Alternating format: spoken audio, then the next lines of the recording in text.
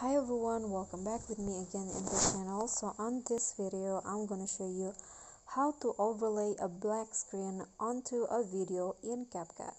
So here I've already import uh, my video and I've already done my editing.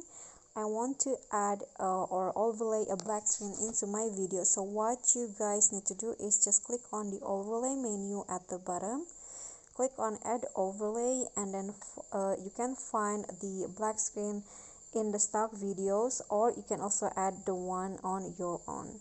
I'm going to add a black screen. Wait a minute.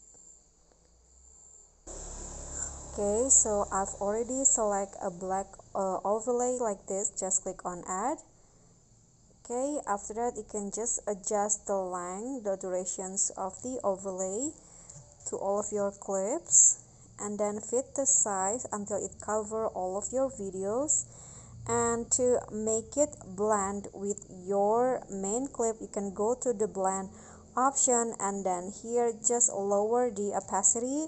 Or you can choose the uh, types of blending in here. You can just choose which one that you think fits your video the best. I'm going to go with the soft then I'm going to lower the opacity like that.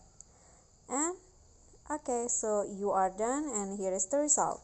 Okay guys so that's all for me. Thank you so much for watching. Please don't forget to like comment subscribe and also click on the thanks button. Bye